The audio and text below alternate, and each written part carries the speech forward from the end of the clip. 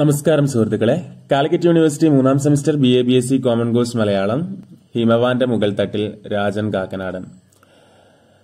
ഈ അധ്യായത്തിൽ നമ്മൾ നോക്കാൻ പോകുന്നു ഗുഹയിൽ ഒരു രാത്രി. അപ്പൊ നമ്മൾ അടുത്ത അധ്യായം നോക്കുകയാണ് ഗുഹയിൽ ഒരു രാത്രി. ഉഖിമടിൽ നിന്നും ഉച്ചയ്ക്ക് ശേഷമുള്ള യാത്ര ആയാസരഹിതമായിരുന്നു എന്നാണ് അദ്ദേഹത്തിന്റെ പക്ഷം. മലകളുടെ പാർശ്വങ്ങളിലൂടെ വളഞ്ഞു തിരിഞ്ഞു പോയിക്കൊണ്ടിരുന്ന പാത ഏറെക്കുറെ നിരപ്പായിരുന്നു പോലും. അതിലൂടെ ഏതാണ്ട് ഏഴ് കിലോമീറ്റർ നടന്നപ്പോൾ താഴ്വരയിൽ ഒരു ചെറിയ ഗ്രാമം അദ്ദേഹം കാണുകയാണ്. കല്ല് പാളികൾ കൊണ്ട് നിറഞ്ഞ ഏഴെട്ട് ചെറിയ വീടുകൾ അതിന്റെ സമീപത്തു കൂടി മന്ദാകിനിയിൽ ചെന്ന് ലയിക്കുന്ന ഒരു കാട്ടരുവി കുത്തിയൊഴുകുന്നത് കാണാം. ഇന്ന് രാത്രി ഇവിടെ തങ്ങിയാൽ എന്ത് എന്ന് അദ്ദേഹം ചിന്തിക്കുകയാണ്. അദ്ദേഹം അങ്ങനെ ആകാശത്തേക്ക് നോക്കുന്നു. ഇനിയും സൂര്യൻ അസ്തമിച്ചിട്ടില്ല എന്ന് അദ്ദേഹം മനസ്സിലാക്കുകയാണ്. ഇരുട്ടാൻ രണ്ട് നാഴികയെങ്കിലും ഉണ്ട് എത്താവുന്നിടത്തോളം എത്തുക. ഒരു തടസ്സമേ ഉള്ളൂ. രാത്രി ഏതെങ്കിലും പാറയ്ക്ക് കീഴെ തങ്ങേണ്ടി വരും. അടുത്ത ഗ്രാമത്തിലേക്ക് എന്ത് ദൂരമുണ്ടെന്ന് അറിയില്ല. ഉകിമടിൽ നിന്ന് നടക്കാൻ തുടങ്ങിയതിനു ശേഷം വളരെ കുറച്ച് ഗ്രാമീണരെ മാത്രമേ വഴിയിൽ വെച്ച് അദ്ദേഹം കണ്ടുള്ളൂ. ഉത്തരാഖണ്ഡ് തീർത്ഥാടന സമയത്തും തുംഗനാഥ് ഒരു നിത്യ സന്ദർശന കേന്ദ്രമല്ലാത്തതിനാൽ വഴിവക്കിൽ കടകളോ പാർപ്പിടങ്ങളോ വിരള വിരളമായിരിക്കുമെന്ന് ഉഗിമഡിൽ വെച്ച് അദ്ദേഹം അറിഞ്ഞിരുന്നു. താഴ്വാരങ്ങളിലെ ഗ്രാമങ്ങൾ തമ്മിൽ ആറും ഏഴും നാഴിക അകലമുണ്ട് ശരിക്കും. എത്താനുള്ള വ്യഗ്രതയോ ഉകിമടിൽ വെച്ച് കണ്ടതും കേട്ടതും അനുഭവിച്ചതുമായ കാര്യങ്ങൾ മനസ്സിലുണ്ടാക്കിയ ചലനങ്ങളോ ഇവയിൽ ഏതാണ് പ്രബലമായ പ്രേരകശക്തി എന്ന് പറയാൻ നിർവാഹമില്ലെങ്കിലും രാജൻ കാക്കനാടൻ യാത്ര തുടരാൻ തന്നെ തീരുമാനിക്കുകയാണ്. ഇപ്പോൾ മന്ത്രിയുടെ ജീപ്പ് ചമോളിയോട് അടുക്കുന്നുണ്ടാവും. ലക്നൌവിലെ മന്ത്രിമന്ദിരത്തിൽ നിന്നെത്തിയ മേത്തരം പരിചാരകർ മന്ത്രിക്ക് അത്താഴ സദ്യ ഒരുക്കുന്ന തിരക്കിലാവും എന്ന് അദ്ദേഹം ഊഹിക്കുകയാണ്. ഉകിമടിൽ കണ്ട കിഴവൻ ഇപ്പോഴും തന്റെ പ്രഭാഷണം തുടരുകയായിരിക്കുമോ? ചിലപ്പോൾ അയാൾ കാലപ്പഴക്കം ചെന്ന വടി കുത്തിപ്പിടിച്ച് മലയിറങ്ങി മന്ദാകിനിയുടെ തീരെ തീരെയുള്ള തന്റെ കുടിലിലേക്ക് നടക്കുകയാവും. അയാളുടെ നിഴൽ നീണ്ടു വളർന്ന് മലഞ്ചെരുവുകളിൽ രോഷത്തിന്റെ വികൃത ചിത്രങ്ങൾ രചിക്കുന്നുണ്ടാവുമോ? ആ ഊന്നുവടി ഹിമാലയത്തിന്റെ വിരിമാറിൽ ആഞ്ഞു പതിയുകയാവും. തന്റെ ഇല്ലായ്മയെയും വാർദ്ധക്യത്തെയും പഴിച്ച് തനിക്കിന്നോളം ജീവിതത്തിൽ നിന്ന് ലഭിച്ചിട്ടുള്ള തിക്താനുഭവങ്ങളെപ്പറ്റി ചിന്തിച്ച് പല്ല് ഞെരിച്ച് ഗഡുവാളിയിൽ അസഭ്യങ്ങൾ പുലമ്പിക്കൊണ്ടാകാം അയാൾ നടക്കുന്നത്. ചിലപ്പോൾ അന്ന് വൈകിട്ട് ലഭിച്ചേക്കാവുന്ന നല്ലവണ്ണം വെന്ത ചൂടുള്ള മസാലയുടെ സുഗന്ധം വമിക്കുന്ന കടലയുടെയും റൊട്ടിയുടെയും സ്വാദ് നുടഞ്ഞ് ശാന്തനായി അക്ഷോഭ്യനായി അയാൾ കുന്നിറങ്ങുകയാകാം. ആ കണ്ണുകൾ ബാല്യകാലത്ത് കണ്ടുമുട്ടിയ യൗവനത്തിൽ ലഹരി പിടിപ്പിച്ച ഏതോ കാഴ്ചകൾക്കായി നാലുപാടും പരതുന്നുണ്ടായിരിക്കുമോ? ഭൗതിക ചിന്തയിൽ നിന്നും ആത്മീയ ചിന്തയിലേക്കുള്ള ആ ഊന്നുവടി ഭൂമിയിൽ പതിയുന്ന ശബ്ദം ഇടവിട്ട് കേൾക്കുന്നുണ്ടാവും അങ്ങനെ പല പല ചിന്തകളിലൂടെ രാജൻ കാക്കനാടൻ കടന്നു പോവുകയാണ് നടക്കുംതോറും മഞ്ഞുപുകയുടെ സാന്ദ്രത വർദ്ധിച്ചു വരികയാണ്. മേഘപടലങ്ങൾ അസ്തമയ സൂര്യനെ പാടെ മറച്ചു. അന്തരീക്ഷം തണുത്തു വന്നു. ഇടവിട്ട് ഹിമഗണങ്ങൾ പതിക്കാൻ തുടങ്ങി. താഴ്വരയിൽ ഇടവിട്ട് മഞ്ഞുകണങ്ങൾ പതിക്കാൻ തുടങ്ങി താഴ്വരയിൽ നിന്നുയർന്ന മഞ്ഞിന്റെ പുക ആകാശത്തെ മേഘപടലങ്ങളുമായി സന്ധിച്ചപ്പോൾ അകലെയുള്ള മാമലകൾ അവ്യക്തമായി അന്തരീക്ഷം തണുത്ത പുക കൊണ്ട് നിറഞ്ഞതായി അദ്ദേഹത്തിന് തോന്നുകയാണ്. ഹിമാലയത്തിൽ അനേക ദിവസങ്ങളായി നടക്കുന്നതിനാൽ അന്തരീക്ഷത്തിൽ പെട്ടെന്നുണ്ടായ ഈ മാറ്റം അദ്ദേഹത്തിന് പുതുമയായിരുന്നില്ല.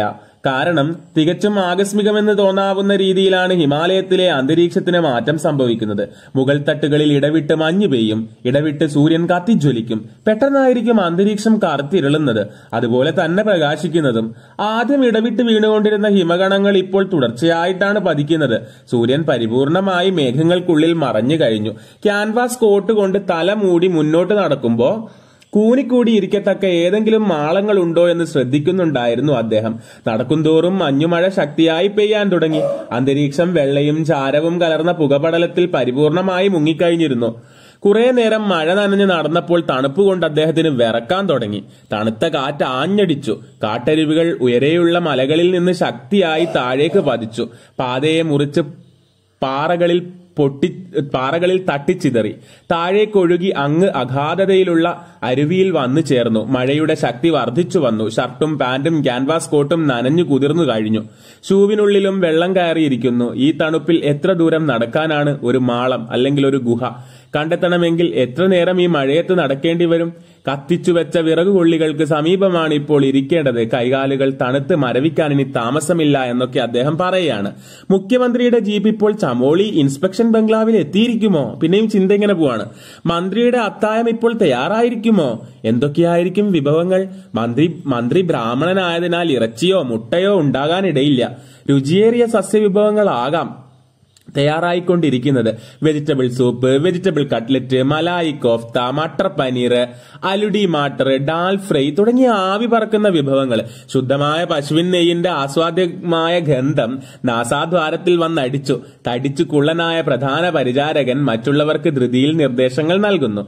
നടപ്പാത കഷ്ടിച്ചു കാണാം. മറ്റെല്ലാം അവ്യക്തമാണ്. ഇരുട്ടുന്നതിനു മുമ്പ് ഏതെങ്കിലും ഗുഹ കണ്ടെത്തിയില്ലെങ്കിൽ രാത്രി മുഴുവനും മഴ കൊള്ളേണ്ടി വരുമെന്ന് അദ്ദേഹം മനസ്സിലാക്കുകയാണ്. ഇങ്ങനെ ചിന്തിച്ച് കുറേ നേരം നടന്നപ്പോ വഴിയിൽ നിന്ന് ഉയർന്ന് ഒരു ഗുഹ അവ്യക്തമായി അദ്ദേഹം കണ്ടു. അത്ര വ്യക്തതയില്ലാതെ അദ്ദേഹം കണ്ടു. അവിടെ ചെന്നെത്തണമെങ്കിൽ വെള്ളം ഒലിച്ചുകൊണ്ടിരിക്കുന്ന ഒരു പാറയിലൂടെ പിടിച്ചു കയറണം. മുമ്പോട്ട് നടന്നാൽ അതുപോലൊരു സ്ഥലം കണ്ടെത്തിയില്ലെന്ന് വരാം. അപ്പോ രാജൻ കാക്കനാടൻ ഷൂസും സോക്സും ഊരി സഞ്ചിക്കുള്ളിൽ വെക്കുകയാണ്. പാറയിൽ ശ്രദ്ധയോടെ പിടിച്ച് കയറാൻ തുടങ്ങുകയാണ്. ഷൂ ഊരിയിട്ടും പാറയിൽ നിന്ന് കാൽ വൈതി പോകുമെന്ന് അദ്ദേഹത്തിന് തോന്നുകയാണ്. കൈകൊണ്ട് പാറയുടെ വിടവുകളിൽ അള്ളിപ്പിടിച്ചാണ് അദ്ദേഹം കയറിയത്. പിടിവിട്ടാൽ ചെന്ന് വീഴുന്നത് അമ്പതടിയോളം താഴെ ജീപ്പ് റോഡിലായിരിക്കും. ഒടുവിൽ ഗുഹയുടെ വാതുക്കലേക്ക് അദ്ദേഹം എത്തുകയാണ്. റോഡിൽ നിന്ന് കണ്ടതിലും വലിപ്പമുണ്ടായിരുന്നു അതിന്. രണ്ടോ മൂന്നോ പേർക്ക് റോഡിൽ നിന്ന് രണ്ടോ മൂന്നോ പേർക്ക് അതിനുള്ളിൽ ചുരുണ്ടുകൂടാം രാജൻ കാക്കനാടൻ അതിനുള്ളിൽ കയറിപ്പറ്റി സഞ്ചിയിൽ നിന്നും മെഴുകുതിരിയെടുത്ത് കത്തിച്ചു. ഗുഹയാകമാനം പരിശോധിച്ചു. ഒരു മൂലയിൽ കരിപുരണ്ട മൂന്ന് കല്ലുകൾ അദ്ദേഹം കണ്ടു. ആരോ ഇതിനു മുമ്പും ഇവിടെ തങ്ങിയിട്ടുണ്ട് എന്ന് അദ്ദേഹം മനസ്സിലാക്കുകയാണ്. രാജൻ കാക്കനാടൻ ക്യാൻവാസ് കോട്ടും ധരിച്ചിരുന്ന ഷർട്ടും പാന്റും ഗുഹാ കവാടത്തിൽ ഇട്ടു സഞ്ചിക്കുള്ളിൽ നിന്നും കൈലിയും പുതപ്പും പുറത്തെടുത്തു. മടക്കി വെച്ചിരുന്നതിനാൽ അവയുടെ ചില ഭാഗങ്ങൾ മാത്രമേ നനഞ്ഞിട്ടുണ്ടായിരുന്നുള്ളൂ. കൈലിയും ഷർട്ടും ധരിച്ച് ഷീറ്റ് കൊണ്ട് മൂടി പുതച്ച് രാജൻ കാക്കനാടൻ ആ ഗുഹയ്ക്കുള്ളിൽ കൂനിപ്പിടിച്ചിരുന്നു. വെളിയിൽ മഞ്ഞിന്റെ വെള്ളയും ചാരവും മാത്രമേ കാണാനുള്ളൂ. ഒന്നും ദൃശ്യമല്ല. ഉകിമടിൽ നിന്നും തിരിച്ചിട്ട് എത്ര മണിക്കൂറായി കാണുമെന്ന് അദ്ദേഹം ചിന്തിക്കുകയാണ്. നാലോ അഞ്ചോ ആറോ ഓർക്കാൻ അദ്ദേഹത്തിന് കഴിയുന്നില്ല. നല്ല ദൂരം പിന്നിട്ടു എന്ന് മാത്രം അറിയാം. കാൽ കയക്കാൻ തുടങ്ങിയിട്ട് വളരെ നേരമായി. മഴ നനയാതെ ഈ ഗുഹയ്ക്കുള്ളിൽ കൂനിക്കൂടി ഇരിക്കാമെന്ന് അദ്ദേഹം വിചാരിക്കുകയാണ്. സഞ്ചിയിൽ നിന്നും ബീഡി തപ്പിയെടുത്ത് മെഴുകുതിരിയിൽ കത്തിച്ചു. ഇപ്പോൾ ഒരു ചൂട് ചായ കിട്ടിയിരുന്നെങ്കിൽ എന്ന് അദ്ദേഹം ആഗ്രഹിച്ചു പോവുകയാണ്. ചായയുടെ കാര്യം ആലോചിച്ചപ്പോൾ മൗണ്ട് ആബുവിലെ കൃഷ്ണശരന്റെ ഗുഹ ഓർമ്മ വന്നു. നിങ്ങൾക്ക് ഓർമ്മയില്ലേ കൃഷ്ണശരന്റെ മൗണ്ട് ആബുവിലെ തുടക്കം പഠിച്ചത്? അത് ഇതിലും എത്രയോ വിശാലമായിരുന്നു പോലും. അതിന്റെ ഒത്ത നടുക്ക് എപ്പോഴും തീ എരിഞ്ഞുകൊണ്ടിരിക്കും. ആ അടുപ്പിന്റെ തീക്കുണ്ടത്തിന്റെ ഒരരികിലായി ഫലവത്തായ ഇരുമ്പ് കൊണ്ട് തീർത്ത ഒരു വേൽ നാട്ടി വെച്ചിരിക്കും. അതിന് സമീപം തന്നെ കനൽ നീക്കിയിട്ട് കൊടുക്കാൻ ഉപയോഗിക്കുന്ന തരം ഒരേ വളയത്തിൽ ഘടിപ്പിച്ച രണ്ട് നീണ്ട ഇരുമ്പ് ദണ്ടുകളോട് കൂടിയ അങ്ങനെ കനൽ നീക്കിയിട്ട് കൊടുക്കാൻ ഉപയോഗിക്കുന്ന തരം കൊടിലും ഉണ്ടാവും. അവയ്ക്ക് പിന്നിൽ ഒരു ചാക്ക് കഷ്ണത്തിലാണ് കൃഷ്ണശരൻ ഇരിക്കാറുള്ളത്. ചിലപ്പോൾ പത്മാസനത്തിലായിരിക്കും ചിലപ്പോൾ വിരാസനത്തിലായിരിക്കും ചിലപ്പോൾ കൂനിപ്പിടിച്ചായിരിക്കും. ആ ഗുഹയുടെ പരിവരുത്ത ഭിത്തിയിലാണ് കാക്കനാടൻ ശിവനെയും പാർവതിയെയും വിഷ്ണു ഭഗവാനെയും വരച്ചിട്ടത്. തീക്കുണ്ടത്തിലെ പുക തട്ടി ഇപ്പോൾ അവയ്ക്ക് നിറംമാറ്റം സംഭവിച്ചിരിക്കാം. പെട്ടെന്ന് കൃഷ്ണശരന്റെ വാക്കുകൾ ഓർത്തു. ബായ് ഏത് കാട്ടിലും ഏകനായി സഞ്ചരിക്കുമ്പോൾ ചില കാര്യങ്ങൾ ശ്രദ്ധിച്ചിരിക്കണം. എപ്പോഴും അഗ്നി ജലം എന്നിവ കരുതുക. നിലാവുണ്ടെങ്കിൽ തന്നെ രാത്രിയിൽ കഴിവതും ഏതെങ്കിലും ഗുഹയ്ക്കുള്ളിൽ വിശ്രമിക്കുക. പകൽ മാത്രം നടക്കുക. ഏത് വന്യമൃഗമുള്ള കാട്ടിലായാലും ഗുഹാമുഖത്ത് തീക്കൂട്ടാൻ കഴിഞ്ഞാൽ പിന്നെ യാതൊരു കുഴപ്പവും സംഭവിക്കുകയില്ല. അതിനുവേണ്ടി നടക്കുമ്പോൾ കാണുന്ന ഉണങ്ങിയ ചുള്ളികൾ ശേഖരിച്ചിരിക്കണം. കഴിവതും ജലസാമീപ്യമുള്ള സ്ഥലത്തെ തങ്ങാവൂ. ദീർഘയാത്രയാണെങ്കിൽ സഞ്ചിയിൽ ഗോതമ്പ് മാവ് ചായപ്പൊടി പഞ്ചസാര ഉപ്പ് ഡാൽ മസാല എണ്ണ എന്നിവ കരുതിയിരിക്കണം. ഒന്നോ രണ്ടോ ചെറിയ അലൂമിനിയം പാത്രങ്ങളും. അല്പം നെയ്യ് ഒരു കുപ്പിയിൽ കരുതിയാൽ നന്ന്. അതൊക്കെ എന്താണ്? കൃഷ്ണ എന്ന് കൃഷ്ണശരൺ പറഞ്ഞ വാക്കുകൾ ഇദ്ദേഹം ഓർക്കുകയാണ്. ഋഷികേശിൽ നിന്ന് നടക്കാൻ തുടങ്ങുന്നതിന് മുമ്പായി കൃഷ്ണശരന്റെ വാക്കുകൾ അനുസരിച്ച് അല്പം വലിയൊരു ചോറ്റുപാത്രം അദ്ദേഹം വാങ്ങിയിരുന്നു. ഈ പാത്രം ഗൗരികുണ്ടിൽ വെച്ച് ഒരു വൃദ്ധ ചോദിച്ചു. അവർക്ക് നൽകി. ഉകിമടിയിൽ നിന്ന് തിരിക്കുന്നതുവരെ അതിന്റെ ആവശ്യം വന്നിരുന്നില്ല. ഹിമാലയത്തിലൂടെ അനേക ദിവസം നടന്ന് ഇവിടെ ഈ ഗുഹയ്ക്കുള്ളിൽ വന്ന് കൂനിപ്പിടിച്ചിരിക്കേണ്ടി വന്നു. കൃഷ്ണശരന്റെ വാക്കുകളുടെ പൊരുൾ മനസ്സിലാക്കാൻ ആ സാധു പറഞ്ഞ സാധനങ്ങൾ കരുതിയിരുന്നെങ്കിൽ ഇപ്പോൾ ഈ ഗുഹയ്ക്കുള്ളിൽ ഇങ്ങനെ തണുത്ത് വിറച്ച് വിശന്ന് കുത്തിയിരിക്കേണ്ടി വരുമായിരുന്നില്ലല്ലോ. അപ്പൊ രാജൻ കാക്കനാടൻ പെട്ടെന്ന് സർവശക്തിയും സംഭരിച്ച് വിളിച്ചു ബോലേ ബം ബം. ആ ശബ്ദം മഴയുടെയും കാട്ടാറുകളുടെയും കൂടി കലർന്ന ആരവത്തിനിടയ്ക്കും മലകളിൽ തട്ടി പ്രതിധ്വനിക്കുന്നത് കേൾക്കുകയാണ്. രണ്ടാമത് കത്തിച്ചു വെച്ച മെഴുകുതിരിയും അണയാറായി. ഗുഹയ്ക്കു വെളിയിൽ ഒന്നും ദൃശ്യമല്ല ഇരുട്ടും പുകയും മാത്രം. മഴ ശക്തിയായി പെയ്തു അതിനനുസരിച്ച് തണുപ്പ് വർദ്ധിച്ചു. ഡൽഹിയിലെ സാദർ ബസാറിൽ നിന്ന് നിന്നും വാങ്ങിയ ഒരു കമ്പിളിയായിരുന്നു കയ്യിലുണ്ടായിരുന്നത്. അതുകൊണ്ട് ശരീരമാസകലം മൂടിപ്പുറച്ചിട്ടും കിടുകിടാ വിറച്ചുകൊണ്ടിരുന്നു. കൈകാലുകൾ ഏറെക്കുറെ മരവിച്ച മട്ടായി. എത്ര മണിക്കൂർ ഇങ്ങനെ ഇരുന്നാൽ നേരം വെളുപ്പിക്കാമെന്ന് അദ്ദേഹം ആലോചിക്കുകയാണ്. തണുപ്പിനോടൊപ്പം തന്നെ ജഡരാഗ്നിയും വർദ്ധിച്ചു. ഒരു പിടി ചോറ് ഒരു പിടി ചൂട് ചോറോ രണ്ട് റൊട്ടിയോ കിട്ടിയിരുന്നെങ്കിൽ എന്ന് ആഗ്രഹിക്കുകയാണ്. അതുമല്ലെങ്കിൽ ഒരു ഗ്ലാസ് ചൂട് ചായ.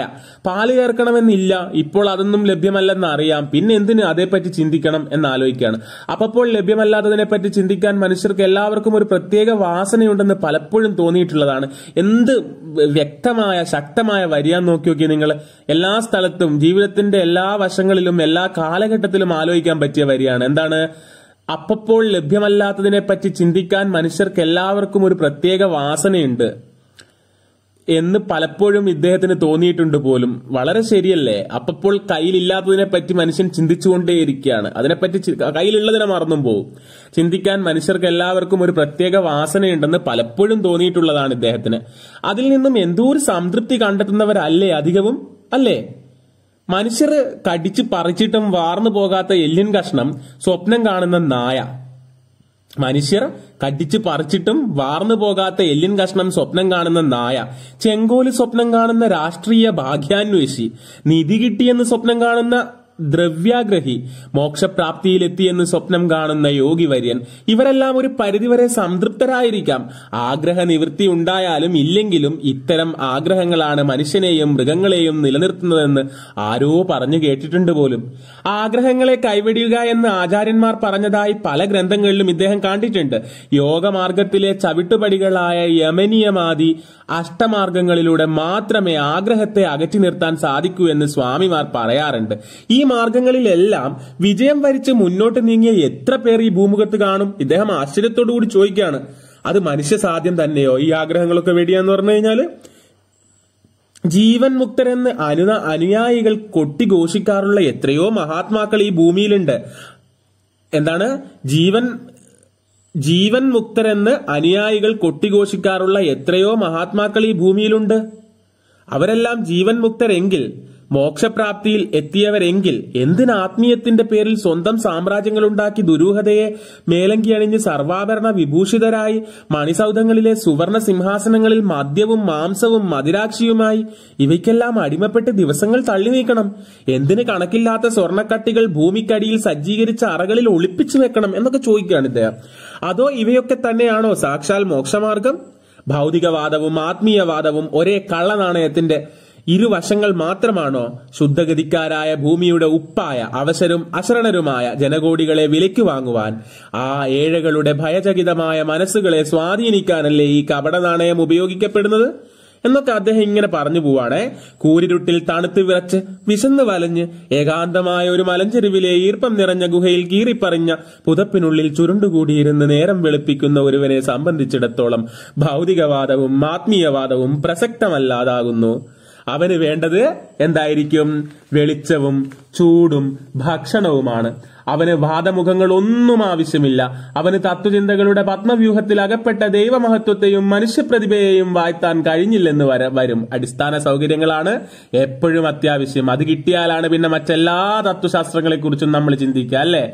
അപ്പോ അവന് തത്വചിന്തകളുടെ പത്മവ്യൂഹത്തിൽ അകപ്പെട്ട ദൈവമഹത്വത്തെയും മനുഷ്യപ്രതിഭയെയും വാഴ്ത്താൻ കഴിഞ്ഞില്ലെന്ന് വരും. അവൻ അവന്റെ താൽക്കാലിക സാഹചര്യത്തെ പഴിക്കുകയാവാം. അതല്ലെങ്കിൽ അടുത്ത പ്രഭാതത്തിലെങ്കിലും അവിടെയെങ്കിലും എവിടെയെങ്കിലും അടുത്ത പ്രഭാതത്തിലെങ്കിലും എവിടെയെങ്കിലും ഭക്ഷണം കിട്ടുമോ എന്ന ചിന്തയിലാകാം. ഇത് രണ്ടുമല്ലെങ്കിൽ വിശപ്പും തണുപ്പും ചേർന്ന് മരവിച്ച ശരീരവും മനസ്സും മരവിപ്പിച്ച ശരീരവും മനസ്സുമായി കൂനിക്കൂടിയിരുന്ന് ഇരുട്ടിന്റെ മ്ലേച്ഛമായ ശൂന്യതയിൽ ലയിച്ചുവെന്നും വരാം. ഒന്നിനെപ്പറ്റിയും ചിന്തിക്കാത്ത ശൂന്യമായ ഈ അവസ്ഥയാണോ ധ്യാനത്തിന്റെ ഉയർന്ന ഘട്ടമെന്ന് എന്ന് രാജൻ കാക്കനാടൻ ഇപ്പോൾ സംശയിക്കുകയാണ്. മനുഷ്യന് ജീവിച്ചാ പോരെ? വാദിക്കണമെന്നോ വാദമുഖങ്ങൾ കേൾക്കണമെന്നോ ഉണ്ടോ? വാദങ്ങളുടെ ഉൽപ്പത്തി എന്നാവാം. പരസ്പര വിരുദ്ധങ്ങളായ ഈ വാദങ്ങളെ എല്ലാം തന്നെ ഈ ഭൂമുഖത്ത് നിന്നും ഉച്ചാരണം ചെയ്യാൻ ആർക്കെങ്കിലും കഴിയുമോ അതിന് തലമുറയിൽ ആരെങ്കിലും ശ്രമിച്ചാൽ അതും മറ്റൊരു വാദമായി മാറുകയില്ല എന്നാണ് അദ്ദേഹത്തിന്റെ ചോദ്യം.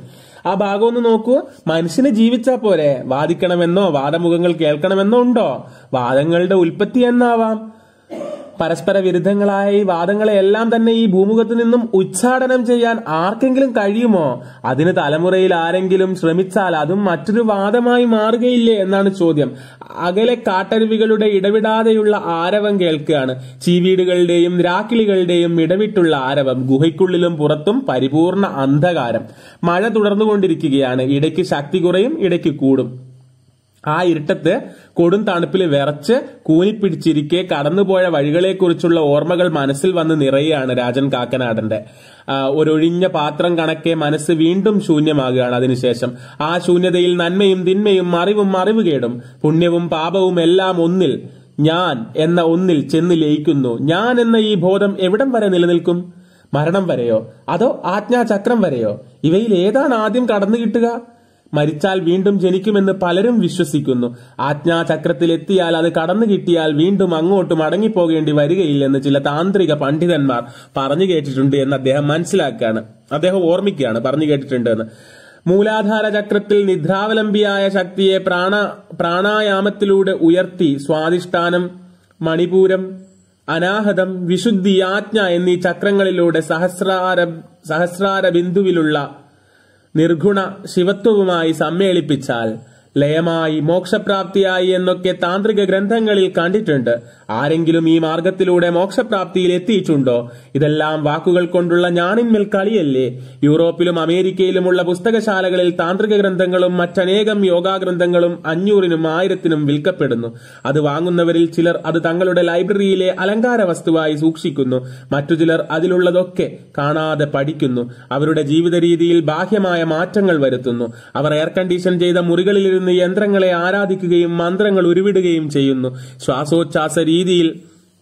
ബോധപൂർവം മാറ്റങ്ങൾ വരുത്താൻ ശ്രമിക്കുന്നു. ചിലർ സ്വമാസ്മര വിദ്യയ്ക്ക് അഥവാ സെൽഫ് ഹിപ്നോട്ടിസം സ്വമാസ്മര വിദ്യയ്ക്ക് അഥവാ സെൽഫ് ഹിപ്നോട്ടിസം വിധേയരായവരെ പോലെ കാണപ്പെടുന്നു. ശീലിച്ചു വന്ന ആഹാര രീതികളിലും മറ്റു ജീവിതക്രമങ്ങളിലും പെട്ടെന്ന് കൊണ്ടുവന്ന മാറ്റം കാരണം ശരീരം മെലിയുന്നു. കൈകാലുകൾ ശോഷിക്കുന്നു. രക്തം വാർന്നുപോയതുപോലെ മുഖം വിളറുന്നു. ഈ സ്ഥിതി വിശേഷത്തിൽ എത്തിയാൽ മറ്റുള്ളവർ ഒരു സിദ്ധനെ എന്ന പോലെ അവരെ വീക്ഷിക്കുന്നു. പല സംശയങ്ങളുമായി അവരെ സമീപിക്കുന്നു. പ്രപഞ്ച രഹസ്യങ്ങളെ കുറിച്ച് കുറിച്ച് ജീവിതത്തെയും മരണത്തെയും മരണാനന്തര ജീവിതത്തെയും കുറിച്ച് സംസാരിക്കാൻ അവരെ പ്രേരിപ്പിക്കുന്നു. പുസ്തകം ബാധി ജനം ബാധി എന്ന തത്വത്തിൽ വിശ്വസിച്ച് അത്തരക്കാരിൽ പലരും തങ്ങൾ വായിച്ചു മാത്രം അറിഞ്ഞ കാര്യങ്ങൾ വാചാലമായ രീതിയിൽ അവതരിപ്പിക്കുന്നു. അത് പ്രായേണ ഒരു ജീവിതോപദേശമായി മാറുന്നു. അവരിൽ ചിലർ ജനത്തിന്റെ ദൃഷ്ടിയിൽ ഗുരുക്കന്മാരും മഹായോഗികളുമായി തീരുന്നു. അലസവരായ കുബേരകുമാരന്മാരും കുമാരികളുമാകാം ശിഷ്യന്മാരിൽ ഭൂരിഭാഗവും. കാരണം പാവപ്പെട്ടവർക്ക് ഗുരുവിന്റെ വാഗ്ധോരണിയിൽ ലയിച്ചിരിക്കാൻ നേരമില്ല. അവർക്ക് അധ്വാനിച്ചാലേ ഭക്ഷണം കിട്ടൂ. പൂനെയിൽ രജനീഷ് എന്ന പേരിൽ അറിയപ്പെടുന്ന ഒരു യോഗി വര്യനുണ്ട് അദ്ദേഹം ഇന്ത്യക്കാരനാണെങ്കിലും ശിഷ്യരിൽ അധികവും ധനികരായ വിദേശികളാണ്. അദ്ദേഹത്തിന്റെ സിദ്ധാന്തം വിചിത്രമെന്ന് തോന്നാമെങ്കിലും പ്രായോഗിക പ്രായോഗിക ബുദ്ധിയെ കാണിക്കുന്നതാണ്. എന്റെ അടുത്ത് പാവപ്പെട്ടവർ വന്നാൽ പറയണേ. എന്റെ അടുത്ത് പാവപ്പെട്ടവർ വന്നാൽ ഞാൻ അവരോട് പറയുക ധനികരായി തിരിച്ചു വരാനാണ് കാരണം പാവപ്പെട്ടവന് മോക്ഷമല്ല ധനമാണ് വേണ്ടത്. ദരിദ്രനായിരിക്കുന്നിടത്തോളം അവന്റെ മോഹം ധനികനായി തീരുക എന്നതാണ്. ധനത്തിലുള്ള മോഹം മാറ്റാതെ വന്നാൽ യോഗം പഠിക്കാൻ സാധ്യമല്ല. ധനത്തിലുള്ള മോഹം ധനം കൊണ്ടേ മാറുകയുള്ളൂ എന്നാണ് അദ്ദേഹം പറയുന്നത്. ഈ സിദ്ധാന്തം രജനീഷ് തന്റെ പ്രായോഗിക ജീവിതത്തെ ന്യായീകരിക്കാൻ വേണ്ടി കെട്ടിച്ചമച്ചതാകാം ചിലപ്പോ. ചിലപ്പോൾ മനുഷ്യ ജീവിതത്തെ സൂക്ഷ്മമായി അപഗ്രഥിച്ചതിൽ നിന്ന് ഉടലെടുത്തതുമാകാം. എന്തായാലും ഒരു സംഗതി സ്പഷ്ടമാണ്. നല്ലൊരു തുക ചെലവഴിക്കാതെ രജനീഷിന്റെ ശിഷ്യത്വം ലഭിക്കുക എളുപ്പമല്ല. ഒരിക്കൽ ചാന്ദിനി ചൌക്കിൽ വെച്ച് പരിചയപ്പെട്ട ഒരു വൃദ്ധനായ സ്വാമിയോട് രാജൻ കാക്കനാടൻ ഇതേപ്പറ്റി ചോദിച്ചപ്പോൾ അദ്ദേഹം പറഞ്ഞു ദരിദ്രനോളമോ അതിലധികമോ ദ്രവ്യാഗ്രഹം ധനികനുമുണ്ട്. മനുഷ്യന്റെ ഓരോ മോഹവും അതാതിന്റെ പൂർത്തീകരണത്തിൽ കൂടി പരിപൂർണമായി മാറ്റാൻ കഴിയുമെന്ന് എനിക്ക് തോന്നുന്നില്ല. അതിനുള്ള ഒരേ ഒരു മാർഗം സംയമനം മാത്രമാണെന്നാണ് പറയുന്നത്. സ്വാമിയുടെ ഈ വാക്കുകൾ കൗളമാർഗാവലംബികളും സമയ മാർഗാവലംബികളും തമ്മിലുള്ള പഴക്കം ചെന്ന വാദപ്രതിവാദത്തിന്റെ ഭാഗമാണെന്ന് രാജൻ കാക്കനാടൻ മനസ്സിലാക്കി. ഇതിൽ ഏതാണ് തെറ്റ് ഏതാണ് ശരി എന്ന് ചോദിക്കുകയാണ്. ആ ഒരു ചോദ്യത്തിലാണ് ഈ ഒരു അധ്യായം അവസാനിക്കുന്നത്. അപ്പൊ അടുത്ത ക്ലാസ്സിൽ നമുക്ക് ഹനുമാൻഘട്ട് എന്ന ഗ്രാമം എന്ന് പറയുന്ന അടുത്ത അധ്യായം നോക്കാം. താങ്ക്